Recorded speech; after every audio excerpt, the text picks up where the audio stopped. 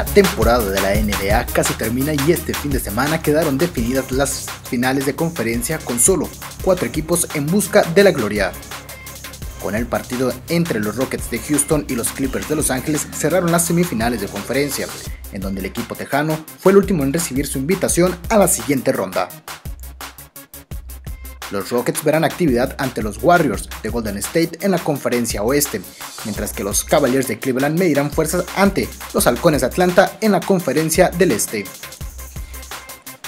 Golden State de la mano de Stephen Curry impuso a Memphis al ganar la serie 4 a 2, mientras que Houston tiene en James Harden su arma más ofensiva al dejar en el camino a los Clippers con la serie 4 a 3.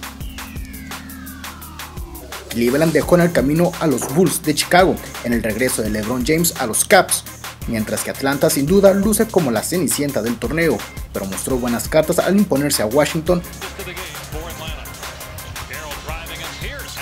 Solo restan cuatro equipos en busca de coronarse campeón absoluto de la NBA 2015. Puente Libre, la noticia digital.